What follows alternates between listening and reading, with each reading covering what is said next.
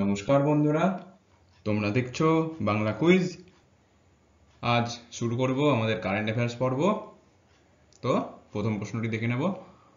নিম্নোক্তদের মধ্যে কে সম্প্রতি national weight lifting championship দু হাজার বাইশে মহিলাদের সাতাশি কেজি বিভাগে স্বর্ণপদক জিতেছে? অ্যান ম্যাডিয়া খুমুকছম সঞ্জিতা চানু সাইখোম মীরাবাই চানু নাকি কর্ণম মল্লেশ্বরী সঠিক উত্তর অ্যান মারিয়া, অর্থাৎ এ।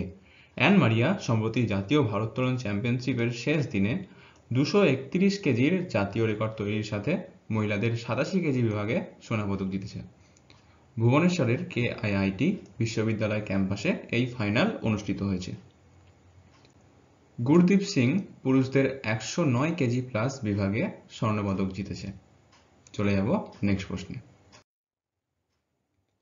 নিম্নলিখিত কোন মন্ত্রী তেসরা এপ্রিল দু হাজার বাইশে ছয়টি নতুন এবং বিরল রেফারেন্স ম্যাটেরিয়াল অর্থাৎ আরএমএস লঞ্চ করেছেন? পীযূষ গোয়াল, হরদীপ সিং পুরী, অনুরাগ সিং ঠাকুর নাকি নীতিন গডকরি? সঠিক উত্তর, অনুরাগ সিং ঠাকুর অর্থাৎ সি। যুব বিষয়ক ও ক্রীড়ামন্ত্রী অনুরাগ সিং ঠাকুর তেসরা এপ্রিল দু হাজার বাইশে ছয়টি নতুন এবং বিরল রেফারেন্স ম্যাটেরিয়াল লঞ্চ করেছে। এগুলি National Institute of Pharmaceutical Education and Research গুয়াহাটির সাথে ন্যাশনাল ডোপ টেস্টিং ল্যাবরেটরি দ্বারা তৈরি করা হয়েছে। অ্যান্টি ডোপিং অ্যানালাইসিস ডেভেলপমেন্টের জন্য এইগুলি লঞ্চ করা হয়েছে। চলে যাব নেক্সট প্রশ্নে। কোন দেশ সম্প্রতি অনুষ্ঠিত আইসিসি মহিলা ক্রিকেট বিশ্বকাপ দু হাজার বাইশে জয়ী হয়েছে। ইংল্যান্ড, অস্ট্রেলিয়া, ভারত নাকি পাকিস্তান? তো যারা মোটামুটি খেলা দেখো, অনেকেই জানবে। সঠিক উত্তর অস্ট্রেলিয়া, অর্থাৎ বি তেসরা এপ্রিল দু হাজার বাইশে অস্ট্রেলিয়া দু হাজার বাইশ সালের আইসিসি মহিলা ক্রিকেট বিশ্বকাপে জয়ী হয়েছে। এটি ছিল তাদের সপ্তম মহিলা বিশ্বকাপ। নিউজিল্যান্ডের ক্রাইস্ট চার্চে হ্যাগলি ওভালে ফাইনালে ইংল্যান্ডকে একাত্তর রানে হারিয়েছে অস্ট্রেলিয়া। তো ফাইনালে কারা গেছিল? ইংল্যান্ড এবং অস্ট্রেলিয়া। সেখানে ইংল্যান্ডকে একাত্তর রানে হারিয়েছে অস্ট্রেলিয়া। অ্যালিসা হিলি খেলার ইতিহাসে প্রথম ব্যাটসম্যান হিসাবে বিশ্বকাপের সেমিফাইনালে ও ফাইনালে সেঞ্চুরি করেন। যদিও মহিলা বিশ্বকাপের ইতিহাসে। চলে যাব পরের প্রশ্নে। কোন দিনটি প্রতি বছর আন্তর্জাতিক খনি নিরাপত্তা দিবস হিসাবে পালিত হয়? চৌঠা এপ্রিল, দশই এপ্রিল তেসরা এপ্রিল নাকি পয়লা এপ্রিল? সঠিক উত্তর চৌঠা এপ্রিল, অর্থাৎ এ।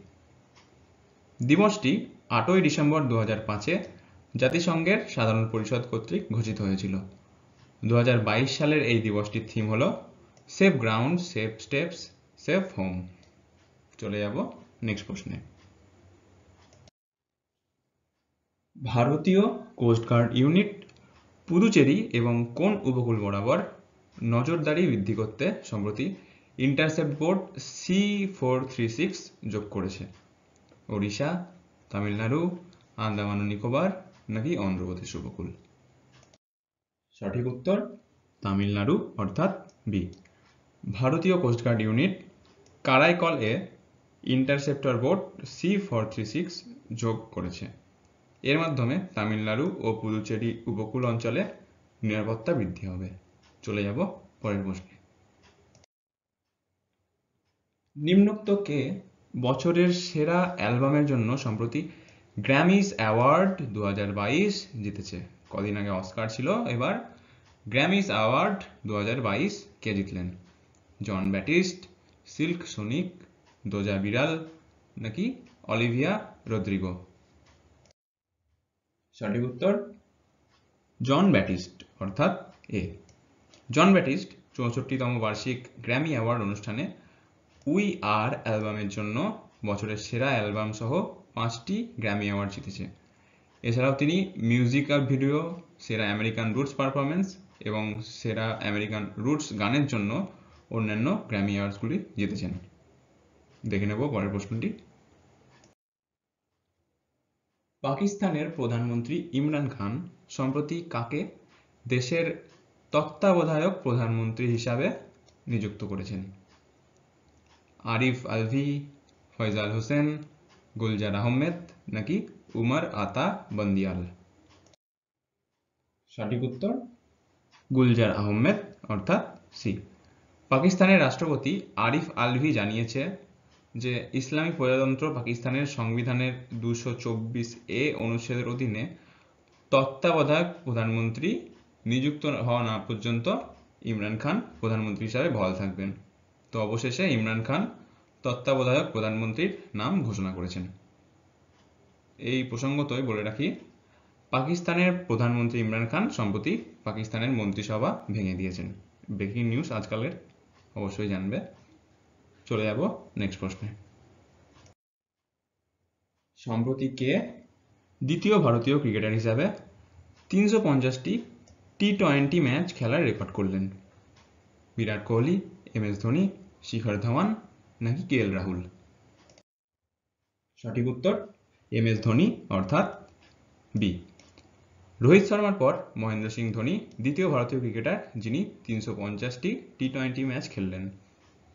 তেসরা এপ্রিল দু হাজার বাইশে ব্রেবন স্টেডিয়ামে খেলা চেন্নাই সুপার কিংস বনাম পাঞ্জাব কিংস ম্যাচে তিনি এই কৃতিত্ব অর্জন করেছেন। রোহিত শর্মা এখনও পর্যন্ত তিনশো বাহাত্তরটি টি টোয়েন্টি ম্যাচ খেলেছেন। চলে যাব নেক্সট প্রশ্নে। কোন স্পেস স্টার্টআপ বা স্পেস সংস্থা সম্প্রতি আন্তর্জাতিক মহাকাশ স্টেশনে প্রথম সম্পূর্ণ বেসরকারি মহাকাশচারী মিশন, অর্থাৎ অ্যাস্ট্রোনট মিশন, চালু করতে চলেছে। Leo labs GHGSat Axiom Space, নাকি অরবাইটাল ইনসাইট। সঠিক উত্তর অ্যাক্সিওম স্পেস, অর্থাৎ সি। অ্যাক্সিওম স্পেস ফ্লোরিডায় নাসার কেনেডি স্পেস সেন্টার থেকে স্পেস এক্সের ফ্যালকন নাইন রকেটে চড়ে আন্তর্জাতিক মহাকাশ স্টেশনে প্রথম সম্পূর্ণ ব্যক্তিগত, অর্থাৎ all private, astronaut mission launch করতে চলেছে। মিশনটি ছয় এপ্রিল দু হাজার বাইশে লঞ্চ করা হবে। চলে যাব আজকের শেষ প্রশ্নে। শেষ প্রশ্নটি হচ্ছে, সম্প্রতি কোন রাজ্যের রাজ্যসভায় প্রথম মহিলা সদস্য হিসাবে এস ফাঙ্গন কোনিয়াককে নির্বাচিত করা হলো। পাঞ্জাব, রাজস্থান, উত্তরপ্রদেশ নাকি নাগাল্যান্ড? সঠিক উত্তর, নাগাল্যান্ড অর্থাৎ ডি। নাগাল্যান্ড থেকে রাজ্যসভার একমাত্র আসনে মহিলাকে প্রার্থী করেছে বিজেপি সরকার। নাগাল্যান্ডের মুখ্যমন্ত্রী নেইফিউরিও, রাজধানী কোহিমা। তো বন্ধুরা, আজ এখানেই শেষ করব। কারেন্ট অ্যাফেয়ার্সের পর্ব কাল আবার সকাল সাতটায় দেখা হবে তোমাদের সঙ্গে। ততক্ষণ প্রস্তুতি নিতে থাকো পরীক্ষার এবং পড়তে থেকো। ভিডিওটি ভালো লেগে থাকলে অবশ্যই লাইক করবে। চ্যানেল নতুন হলে অবশ্যই সাবস্ক্রাইব করবে। ততক্ষণ সঙ্গে থেকো। বাই।